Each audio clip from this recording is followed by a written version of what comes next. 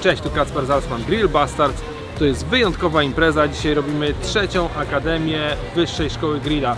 Jesteśmy w Poznaniu, w Grill Center. Fantastyczne towarzystwo. Tam są ludzie z tyłu, już sobie robią dodatki do burgerów.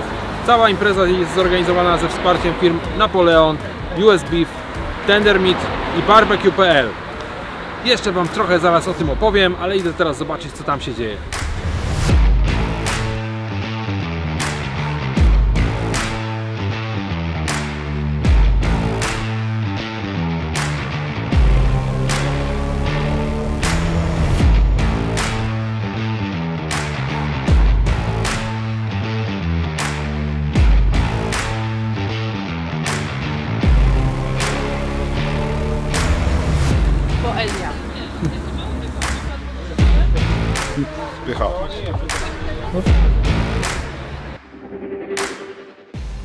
Akademia trwa, Wyższa Szkoła Grilla.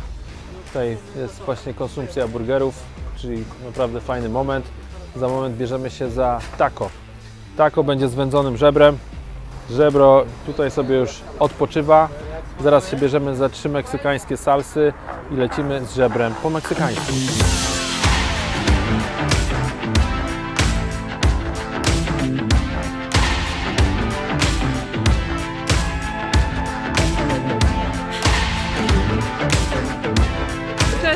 Jestem Maria, e, jestem z barbecue.pl e, i chciałam powiedzieć kilka słów o mięsie, które dzisiaj będziemy grillowali.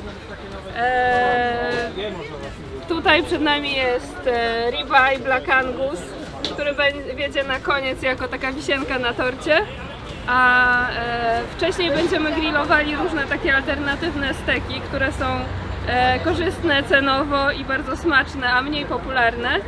I zacznijmy może od e, takiego steka, który się nazywa hanging tender, hanger steak, tak zwana świeca wołowa. To jest e, bardzo fajny element na steki. Nie wygląda, nie jest zbyt wyględny, ale jest bardzo delikatny, bardzo kruchy i soczysty. I wiele osób używa e, tego elementu do tatara, ale zapewniam, że w stekach jest po prostu mistrzostwem świata.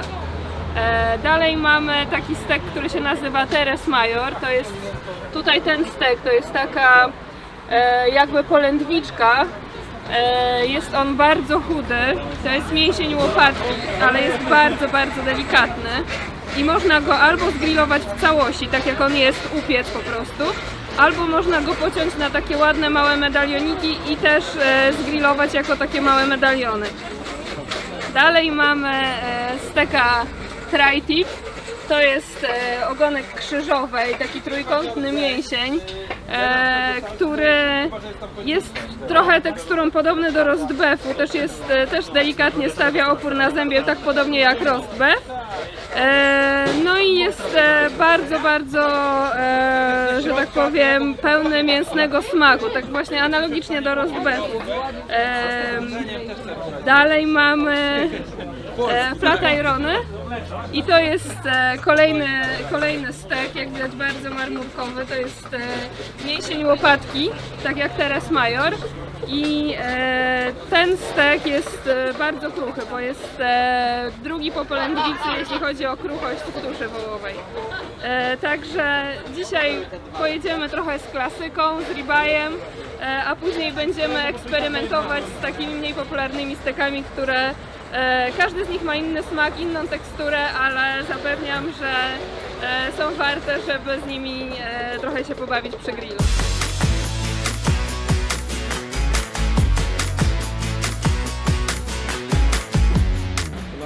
Wszystko dzieje się w salonie grillowym Grill Garden w Poznaniu.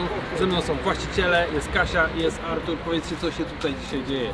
No cześć, dzisiaj gościmy Kacpra, e, Napoleona i Meat, pyszne mięso e, ze Stanów i przygotowujemy najpyszniejsze e, steki i żebra i wszystko, co tylko sobie wymarzymy. Wspaniałości robimy szkołę kulinarną, także Kacper jest tutaj panem profesorem od grillowania, bo tak, Tak. trzeba powiedzieć, że to co zrobi, robi wszystko najlepiej. E, Ja tu jestem tylko na dodatek, bym powiedział, jako deser, taki zamiast ananasa. A tu jest moja żona i Kacper, to są dwie najważniejsze osoby dzisiejszego wieczora i naprawdę jest zajebiście. Dobra. A co Wam najlepiej smakowało? No wiesz co, ja? Żebro.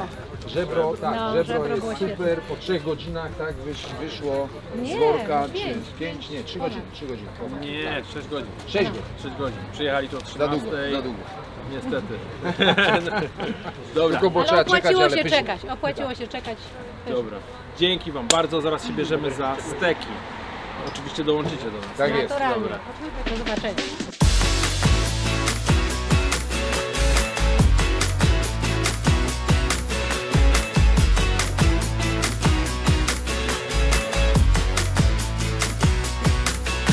Coś, co po prostu jeżeli e, nie zadbamy o to, no to cała nasza, nie tylko nasza praca cała, ale praca hodowcy, który po prostu przez kilka lat dobrze hodował tą krowę, karmił ją i tak dalej i po prostu ubił w humanitarny sposób, to cała jego praca idzie na marne, bo możemy tego steka po prostu na tym ostatnim etapie zepsuć. Tutaj jest soczystość w tym mięsie, tak? Ona jest w włóknach jeżeli atakujemy wysoką temperaturą e, te włókna, to ta soczystość zaczyna z tych włókien być wyciskana. Ona tam swobodnie sobie zaczyna między tymi włóknami pływać i jak ja go ciachnę w momencie, jak go zdjąłem z grilla, to wszystko to wypłynie na deskę i to zawsze jest właśnie krew, nie chcę krwi na talerzu. To nie jest krew. Krew została spuszczona z tego zwierzęcia po uboju. To jest osocze, to jest pyszny smak, który powinien być w tych włóknach. I jak tego steka na chwilę zostawimy, to to wszystko się z powrotem, nie, nie wszystko, ale duża część tej wilgotności się po prostu wchłonie w te włókna i ten stek pozostanie pyszny, nic nam na talerz nie wypłynie, nie będzie brzydko wyglądało.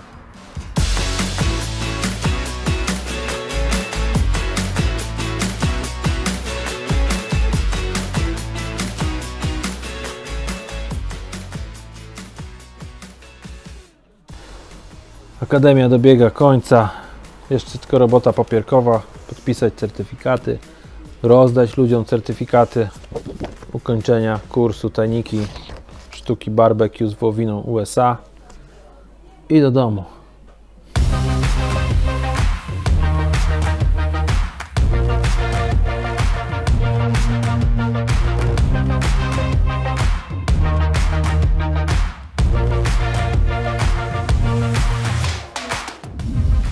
Kup bilet na www.grillbastards.pl